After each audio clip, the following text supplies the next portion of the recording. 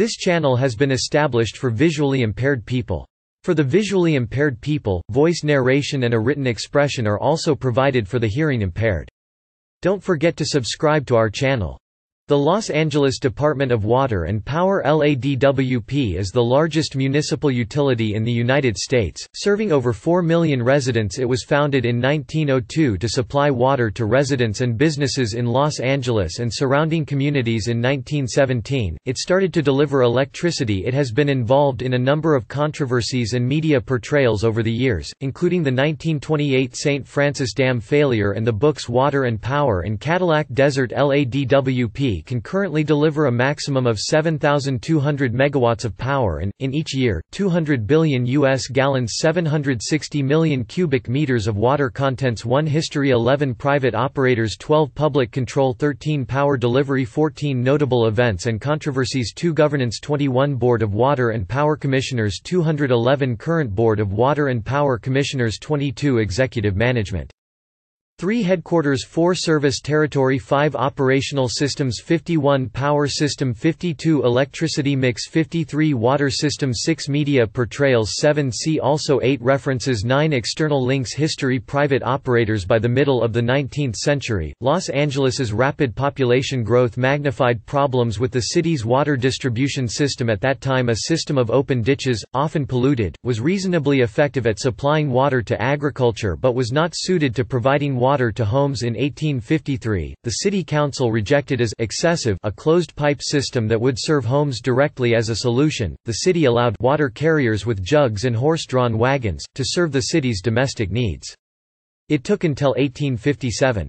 for the council to realize that the system needed to be updated, which led them to grant William G. Dryden franchise rights to provide homes with water through a system of underground water mains The initial system served only a few homes using an unreliable network of wooden pipes in December 1861. Heavy rains destroyed the system and Dryden gave up his franchise The city attempted contracting out water distribution rights to others, but none of the systems that resulted from these contracts was successful The city's previous unsuccessful attempts to allow others to develop a water system on its behalf prompted the city council to relinquish its rights to the water in the Los Angeles River in 1868, which benefited John S. Griffin, Solomon Lazard, and Prudent Beaudry, three already successful businessmen This change was at the expense of the city of Los Angeles, which could no longer benefit from their municipal water distribution business The three men created the Los Angeles City Water Company, which violated many of the provisions of its lease on the Los Angeles River, including secretly tunneling under the river to extract 150 times as much water as the lease allowed as a result. As the end of the lease drew near in the mid 1890s, popular support began to build for a return to complete municipal control of the local water supply. Public control The John Ferraro Building, LADWP headquarters in downtown Los Angeles.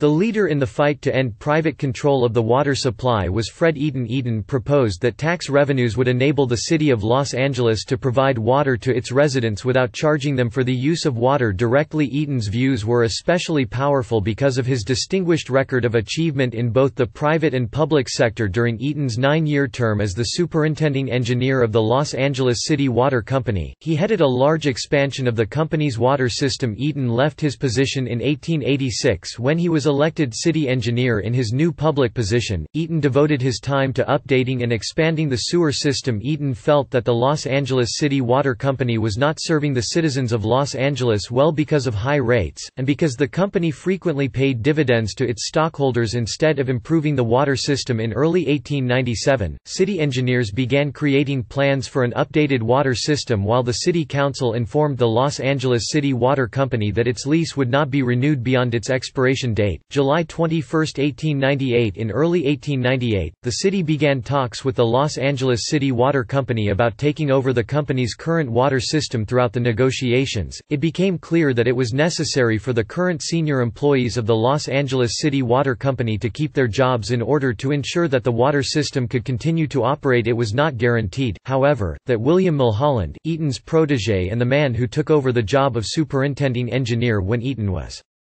Elected city engineer, would have a position working with the city-owned water system Mulholland was not popular with city officials because he did not produce records that the city requested during negotiations near the end of the talks between the city and the water company. It was discovered that neither the requested records nor a map of the water system existed Mulholland, who was supposed to be in charge of the non-existent records, was never a fan of paperwork and claimed that he had memorized all of the necessary information, including the size of every inch of pipe and the age and location of every valve Mulholland secured a job with the city when he successfully demonstrated his ability to recall the information once Mulholland was assured a job with the city, he intervened with the company's principal stockholder, advising him to accept the city's offer of $2 million for the system power delivery The LADWP first offered municipal electricity in 1917 when Powerhouse No. 1, a hydroelectric power plant located in San Francisquito Canyon and which is powered by the Los Angeles Aqueduct, began began generating electricity it ultimately produced 705 megawatts and is still in operation, producing 445 megawatts three years later. In 1920, Powerhouse No. 2 was added The powerhouse was destroyed when the St. Francis Dam failed, but the plant was completely rebuilt and back in service by November 1928 it remains in operation today, having the capacity to generate 18 megawatts on January 17, 1994. The city of Los Angeles experienced its one and only total system blackout as a result of the Northridge earthquake. Much of the power was restored within a few hours in September 2005. A DWP worker accidentally cut power lines that caused over half of Los Angeles to be without power for one and one half hours. Notable events and controversies. Main articles: St. Francis Dam and California water wars. In 1928, the St. Francis Dam, built and operated by the LADWP, which at the time the Water Department Division was named the Bureau of Water Works and Supply, collapsed catastrophically with its reservoir filled the disaster, considered to be one of the worst American civil engineering disasters of the 20th century, remains the second greatest loss of life in California's history after only the 1906 San Francisco earthquake and fire The ensuing flood caused devastation to present-day Valencia, Newhall and the cities in the Santa Clara River Valley, taking the lives lives of up to 600 people The high death toll was due, in part, to confusion and miscommunication by and between employees of both the LADWP and Southern California Edison, who also had facilities and operations in the area, which led to the lack of prompt warnings being sent to the downriver communities those cities included Piru.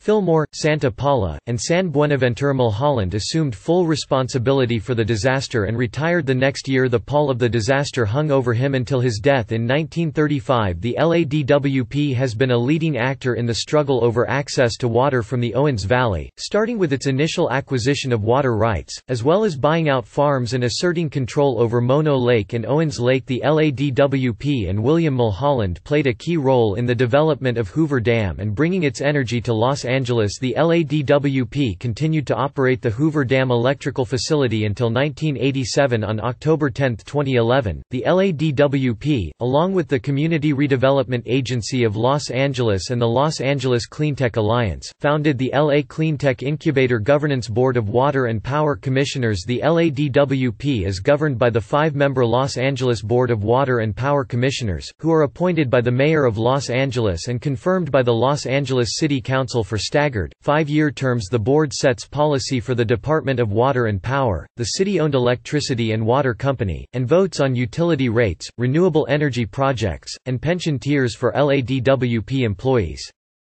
The Board of Water and Power Commissioners meets regularly on the first and third Tuesdays of each month at 11 o'clock.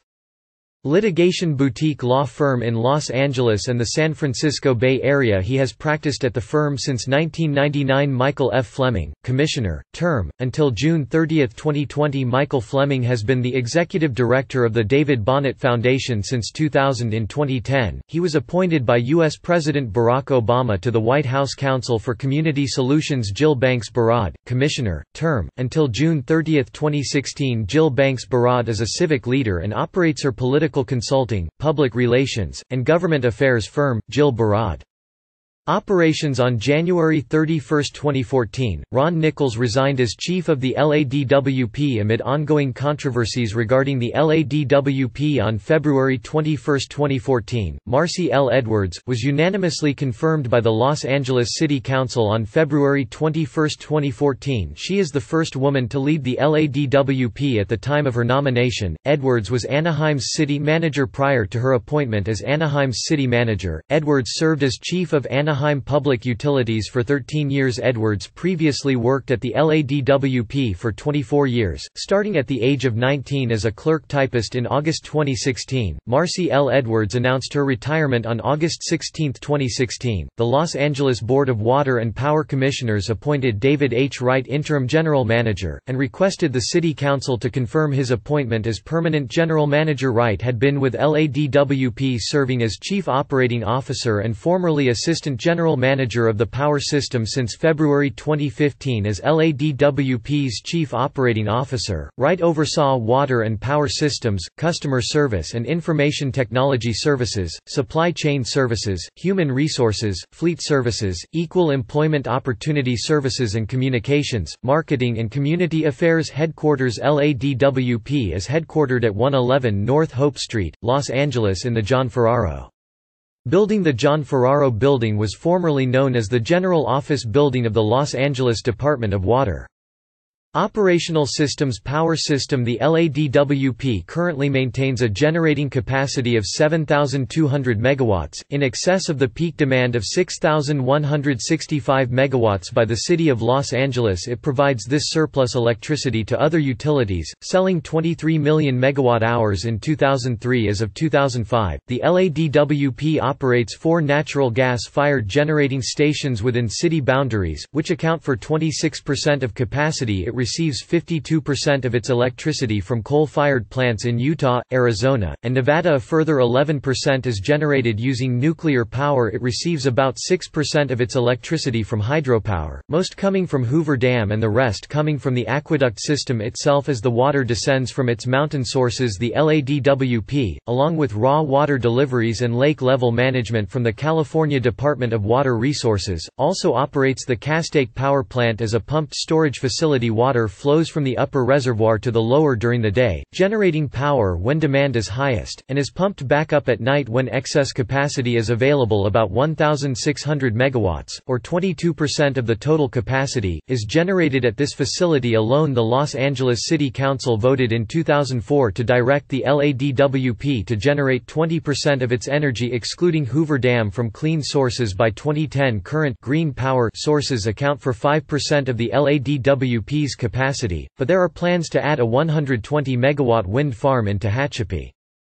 California, and produce electricity from geothermal sources in the Salton Sea area and photovoltaic sources because Los Angeles is older than most other cities in California. The LADWP is currently faced with several unique issues. Most of the power lines in Los Angeles were built above ground before it became customary to run power lines below ground. As a result, the horizon line of the typical Los Angeles boulevard looks much more cluttered than boulevards in most Southern California cities starting in 2007. LAD DWP has a long-term project to upgrade the overhead power lines and convert them to underground. This difficult conversion has been slowed by budget constraints, the impact on traffic, the pursuit of other modernization projects, and the lingering effects of a workforce reduction over the last decade. Budget issues are particularly acute in the department's transmission system, where underground transmission costs about 10 to 14 times the cost of overhead transmission, per unit length, and the technical and environmental challenges which confront such installations Additionally, undergrounding of the three 500 kV transmission lines 5 lines, if the Pacific AC Interties two 500 kV lines terminating in Los Angeles are included is presently technically infeasible upgrading the overhead lines is expected to take 10 to 15 years The upgrading of LADWP's overhead power lines consists of eliminating the V-shape brackets on the power poles that are holding up the crossarm and replacing them with cross brackets that are put on the crossarm.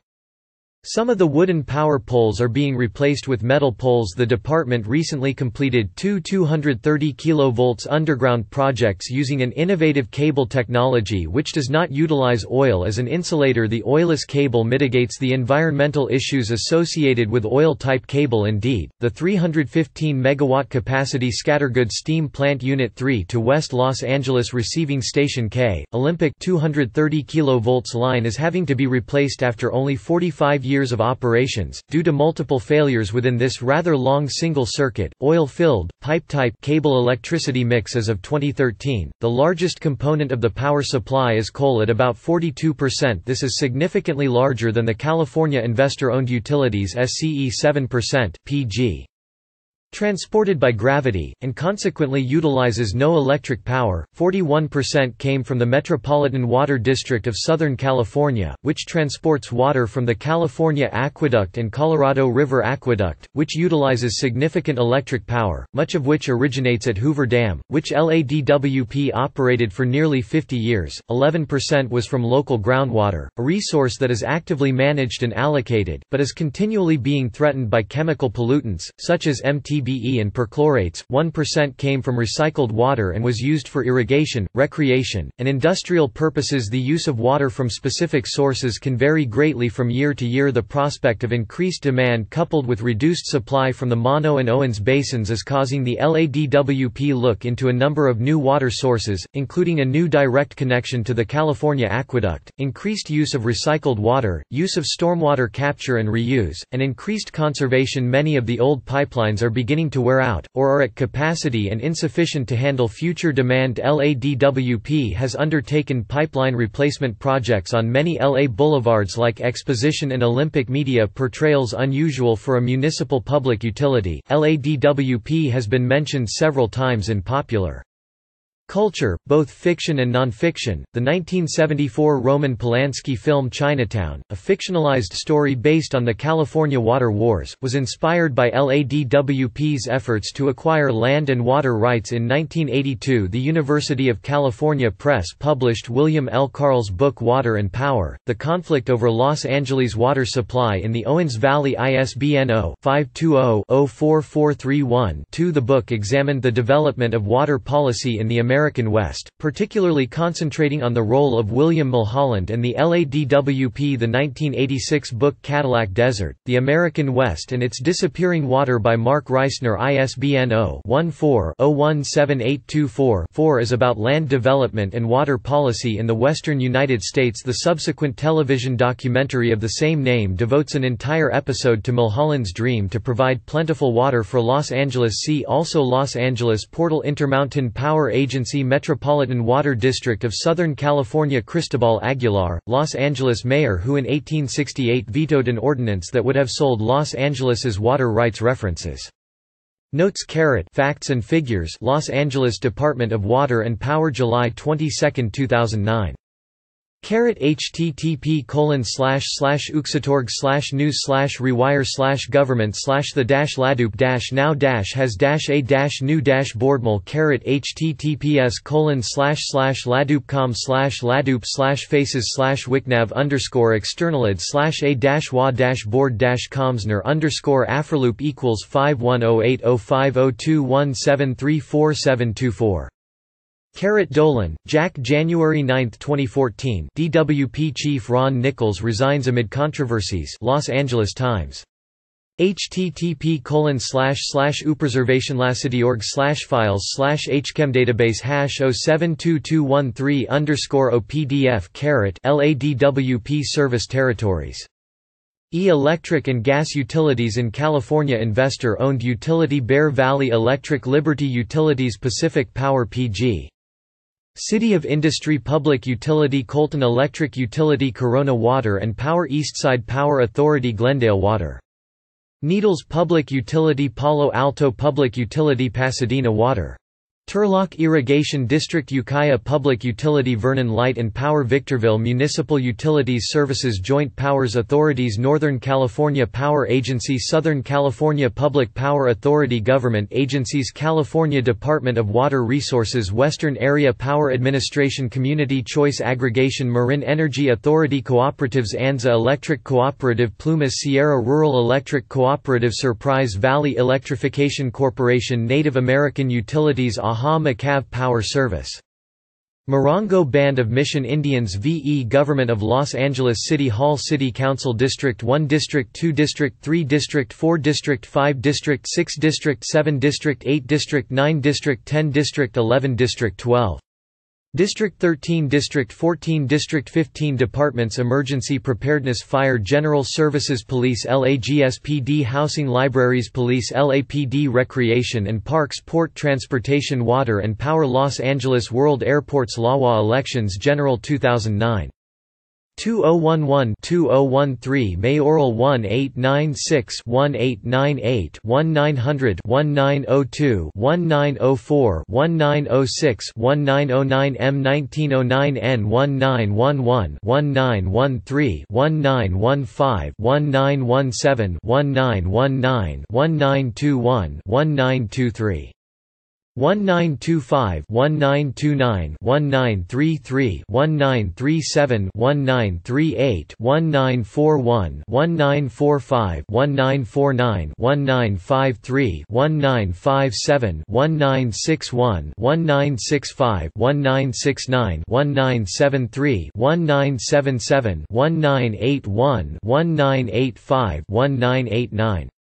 1993-1997-2001-2005-2009-2013 City Attorney 2009 Officials elected Mayor City Attorney City Controller Appointed City Clerk Public Defender City Administrative Officer SAO Director of Finance.